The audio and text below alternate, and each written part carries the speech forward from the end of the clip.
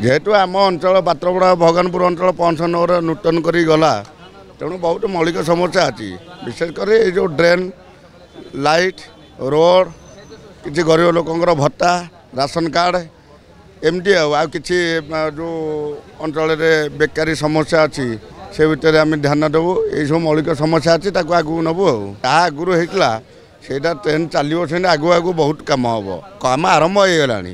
ଯେଉଁ ଦିନଠୁ ମୁଁ ଜିତିଛି ତା ପରଦିନଠୁ ଆରମ୍ଭ ହେଇଗଲାଣି ଲୋକଙ୍କ କାମ।